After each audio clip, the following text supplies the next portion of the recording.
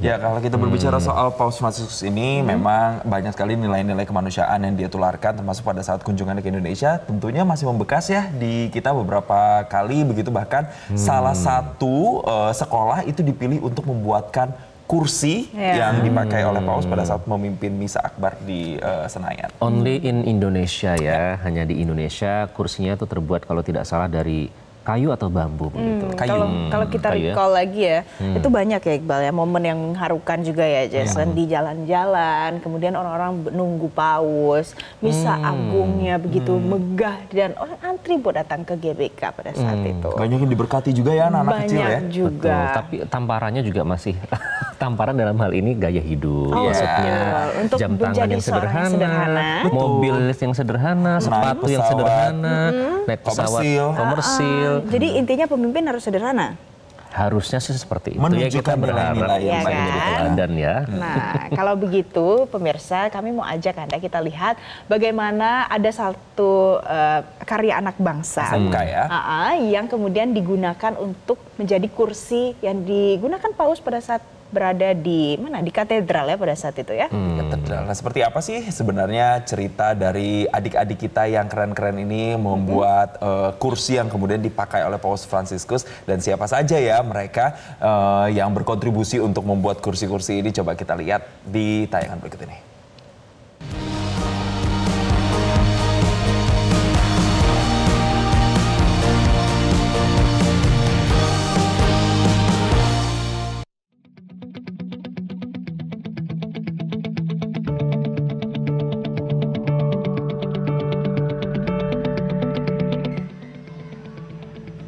Perjalanan apostolik pemimpin tertinggi gereja Katolik selesai sudah.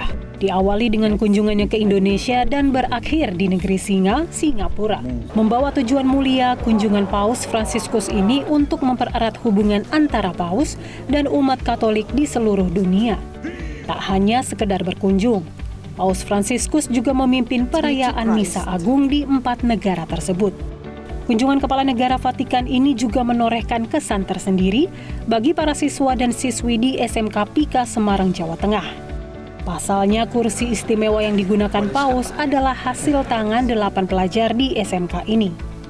SMK Pendidikan Industri Kayu Atas atau PIKA patut berbangga hati karena didaulat membuat kursi yang dipakai duduk Paus Fransiskus saat memimpin Misa Agung di Gelora Bung Karno, Jakarta awal September lalu. Kursi dipesan langsung pihak Gereja Katedral Jakarta dan memakan waktu proses pembuatan selama satu setengah bulan. Tepat pada 27 Mei, kursi dikirim ke Jakarta. Dan pada 30 Mei disetujui pihak Vatikan.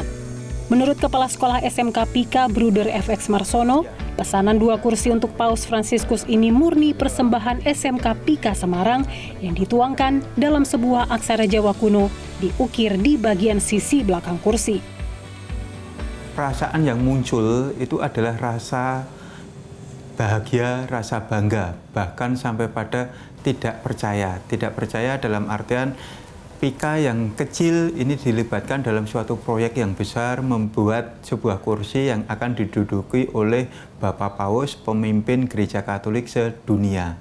Lalu mengenai proses produksi pembuatan kursi paus ini, kami melibatkan delapan anak yang terdiri dari para siswa dan siswi, dari latar belakang agama juga beraneka ragam, ada yang Katolik, ada yang Protestan, ada yang Islam.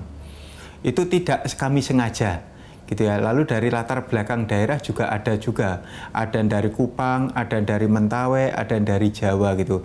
Harapannya bahwa ternyata itu malah bisa menggambarkan keragaman.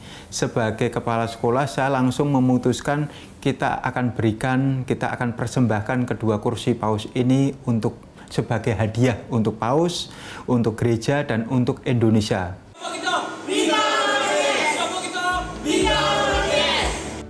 Replika kursi paus disimbolkan sebagai berbagi berkat dan bisa dinikmati bagi banyak orang, terutama umat Katolik di tanah air.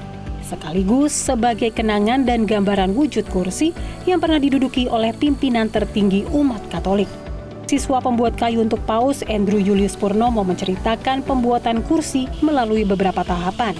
Dimulai dari tahap pengumpulan bahan, dilanjutkan proses konstruksi, proses perakitan, pengaplasan, dan finishing. Ia mewakili tujuh rekan lainnya menyatakan rasa bahagia dan bangga atas kunjungan Paus ke Indonesia.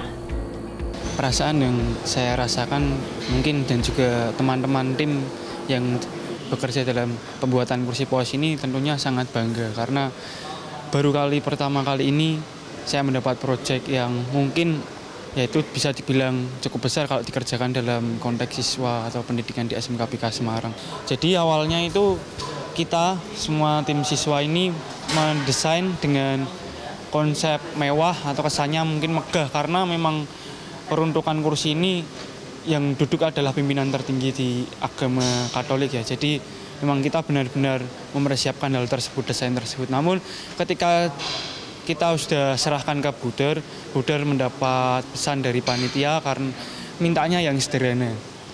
Ya di pembuatan kursi paus ini dikerjakan kurang lebih dalam jangka waktu satu setengah bulan bersama dengan delapan peserta didik termasuk saya dan juga tidak lupa kami juga masih dalam pengawasan atau bimbingan dari guru desain dan juga guru praktek di SMKPK Semarang dan juga melibatkan karyawan di unit produksi SMKPK Semarang.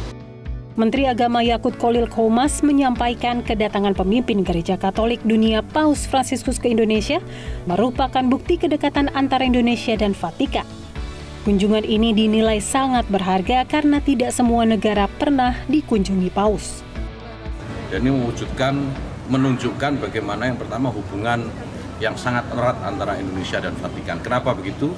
Karena tidak semua negara pernah dikunjungi oleh Bapak Paus. Yang kedua, ini menunjukkan bahwa eh, pesan, ada pesan yang ingin disampaikan, bahwa perbedaan itu biasa saja gitu jadi tidak ada yang perlu dipersoalkan dalam perbedaan. Dan saya kira dan paus ini mencerminkan pesan bersamaan antara keberbedaan.